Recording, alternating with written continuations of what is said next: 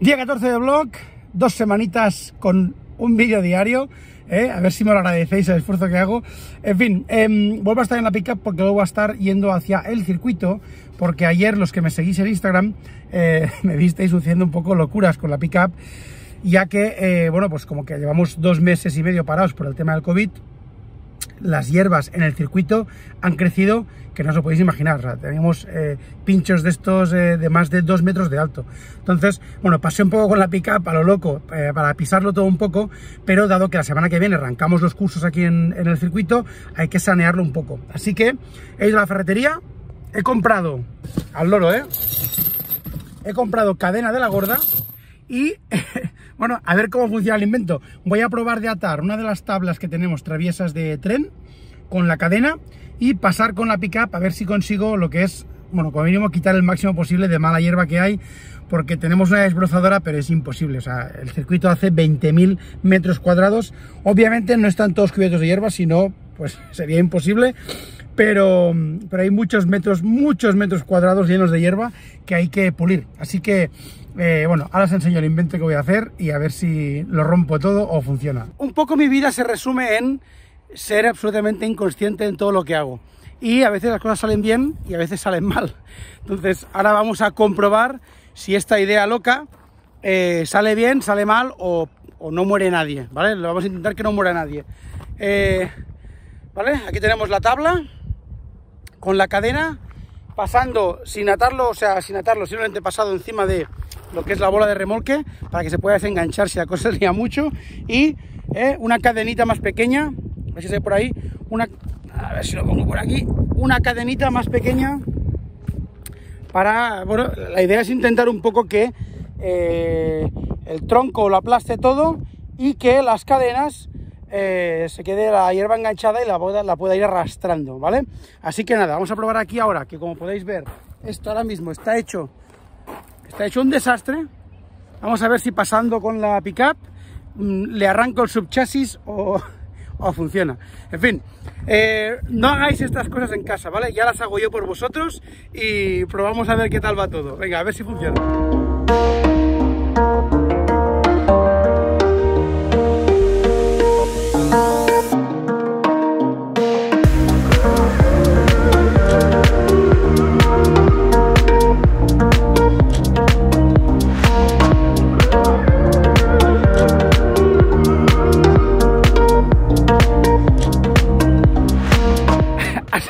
Mucho mejor de lo que me esperaba. Aunque eh, hay que mejorar el sistema. ¿eh?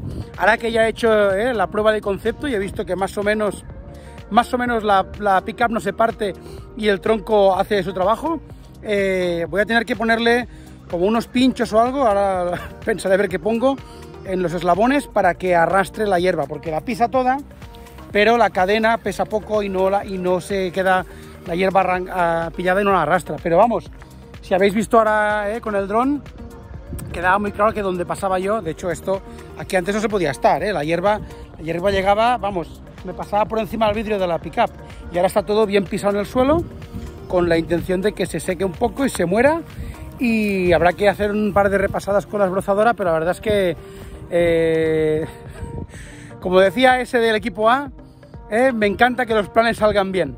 Creo que a esas alturas de la película a nadie le va a sorprender que eh, bueno, os hacéis una idea de qué va a pasar con esta valla, ¿no?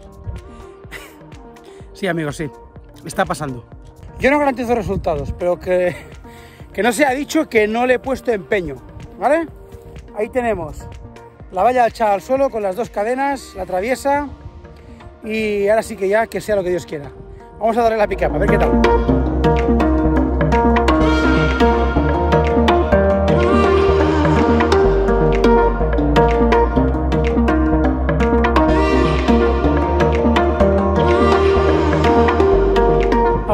Estoy que me salgo. Dos inventos y los dos más o menos han funcionado. ¿eh? Todavía está la valla más o menos entera y la verdad que ahora se nota que la hierba queda un poco más chafada, con lo cual yo tengo la esperanza de que eh, si dejamos que se seque un poco, ¿eh? espero haberla matado un poco ahora, y si dejamos que se seque, eh, luego será más fácil de con un rastrillo o con algo acabarla de recoger. En la foto que he colgado antes en, en, en redes, en Instagram, me decíais, Hombre, eso mejor una desbrozadora. Chavales, que aquí hay 20.000 metros cuadrados. A ver si, no sé si habéis usado alguna vez una desbrozadora, pero hacer más de 50 metros cuadrados con una desbrozadora ya es un curro de la hostia. 20.000, vamos, estoy aquí hasta el mes que viene eh, cortando con la maquinilla. Eso es para hacer los rincones y cosas un poco más pequeñas, pero cuando tienes aquí toda esta extensión hay que ir a lo grande. A ver, antes de que se me olvide, que estoy aquí en la pickup, me voy para el local y luego ya creo que daré por finalizar el blog, así que la locura que habéis visto hoy es para arrancar los cursos a partir de, del 6 de junio, que ya tocaba, llevamos dos meses y pico sin poder hacer cursos aquí en Twin Trail y a partir del 6 ya empezamos, lo tenemos lleno, estamos lanzando nuevas fechas, así que si estás planteándote hacer un curso, échale un ojo a la web que iremos colgando el calendario eh, un poco reformateado con lo que se ha podido hacer eh, con estos días. Tenemos muchos bailes de fechas, ya lo sabéis, ¿eh? estamos en lo que estamos y, la situación es la que es, con lo cual al final intentamos adaptarnos lo mejor posible. Pero eh, ayer hicimos aquí el Power Lab con la Gesita, que la verdad es que nos lo pasamos muy bien. Es de las eh, parece que mi trabajo solo sea esto y en realidad esto ya lo y lo grabamos aquí en media horita y luego había que ir corriendo al local, eh, editar el vídeo del blog, editar el vídeo para el Power Lab, preparar todo el tema del directo. Es el jueves es el día más estresante de la semana para mí y para Carles, eh, sin duda alguna, porque aparte del trabajo diario que tenemos, se nos acumula todo el trabajo del Twitter Trolls, que es en directo, con lo cual no puede fallar. Se nos fue la luz eh, a las seis y cuarto una vez y a las seis y media, o sea, media hora antes del directo, se fue la luz del local, no sabíamos lo que pasaba, empezamos a desenchufar cosas, en fin, una locura. Em, pero bueno, lo del Power Talk, eh, digo, lo del Power Lab, que a todo el mundo os ha gustado mucho, y a mí también, y a Carles también, eh, lo hicimos con la Gesita y la idea es irlo haciendo con varias motos, ¿vale? O sea, si tienes una moto trail y te gustaría igual no te gustaría, pero y te gustaría que le diéramos un Power Lab para poner en la clasificación oficial, eh, pues nada, contacta conmigo, eh, no aquí en los comentarios, yo me vuelvo mándame un correo, isaac.com, qué modelo de moto y te gustaría venir.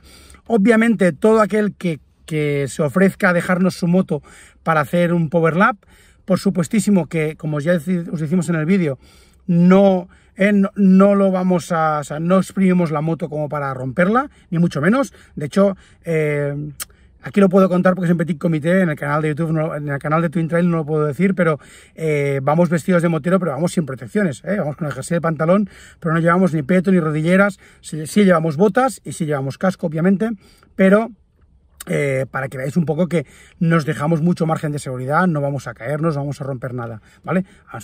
todo se puede romper en esta vida, ¿eh? pero que el objetivo siempre es de dar una vuelta a un ritmo alto, pero sin arriesgar. Entonces, lo que os decía, si tienes una moto trail que te gustaría que verla en el Power Lab, eh, vente un jueves, le damos una vuelta a nosotros y por supuesto te vas a poder dar una vuelta tú en el Power Lab para ver también tu tiempo y quién sabe, igual nos ganas, ¿eh?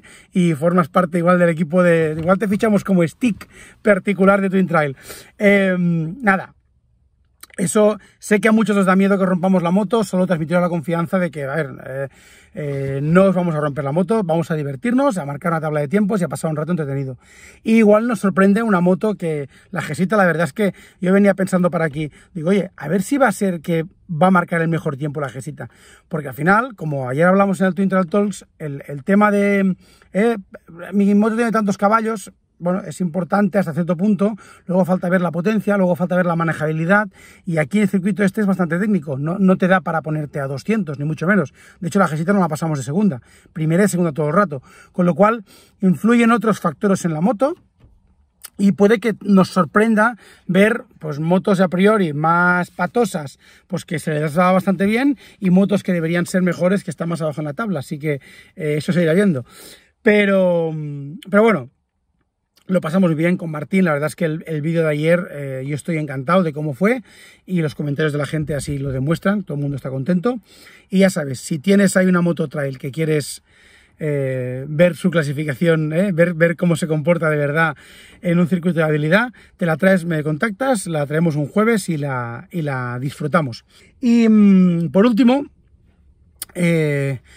muchos me habéis pedido que que hable sobre la KTM 690, que siempre rajo mucho de ella, y la verdad es que me da un poco de miedo porque no voy a decir nada bueno de esa moto, y ya de normal, en los Twin Talks muchos se ofenden y casi nos insultáis porque hablamos mal de vuestra moto y bueno, no entendéis que al final se trata de un programa casi casi de humor. Entonces, eh, a mí me gustan todas, yo me las compraría todas, pero algunas me gustan más que otras. Y sobre todo, pues hombre, para, como dije ayer, ¿no? Para hablar bien de una moto, ya tenéis las revistas. Y si os conectáis con Twin Trail, con Twin Trail Talks y habláis con Carles y conmigo, somos cínicos y vamos a buscar siempre ahí ¿eh? el detalle malo y nos cebamos con eso. Pero la 690 es una moto que realmente le, tengo bastante odio. Es de las pocas motos que odio bastante. De las pocas que he tenido, he tenido muchas motos y hay dos, dos motos a las que no les tengo demasiado cariño. Una es la KTM 690 y la otra, igual os lo cuento algún día. Em, entonces quería hacer el vídeo hablando de 690, pero me da miedo porque sé que voy a recibir mm, mm, amenazas en casa por, por lo que diga de ella. Pero, mm, oye, no sé, al final, em, si te ofendes porque habla mal de tu moto, pues tienes un problema, ¿no? Porque al final, si a ti te gusta, pues eh, disfrútala. A mí no me gusta nada. O sea que posiblemente mañana... Eh, venga, va, me comprometo. Mañana, blog número 15 va a ser la hecatombe, voy a hablar de la KTM 690, todas las cosas que me gustan, que eso va a ser muy rápido, y todas las cosas que no me gustan, que igual va a ser el blog más largo de toda la temporada, ¿vale? Bueno, esto es todo. Eh, ayer me despedí muy a lo bruto, hoy lo hago como Dios manda, ya sabéis, like y suscribirte si ha gustado, dislike y de suscribirte si no te ha gustado, y hasta luego.